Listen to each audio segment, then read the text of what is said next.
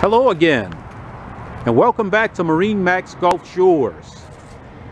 Today we're going to be taking a brief look at this 2020 Sea Ray 19 SPX. Did you notice the beautiful gel coat color on the side?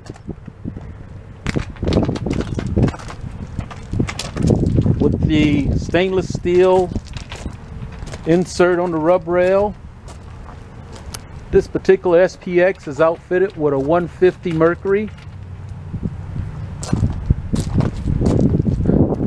And as you walk aboard the boat, you can see all the room that it gives you on the back platform. Ski tow bar.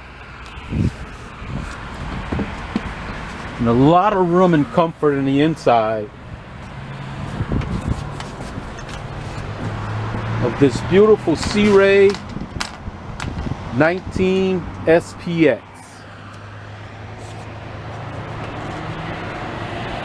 For a full viewing of this boat and any of our other boats, come see me, Dwayne Diggs, MarineMax Gulf Shores.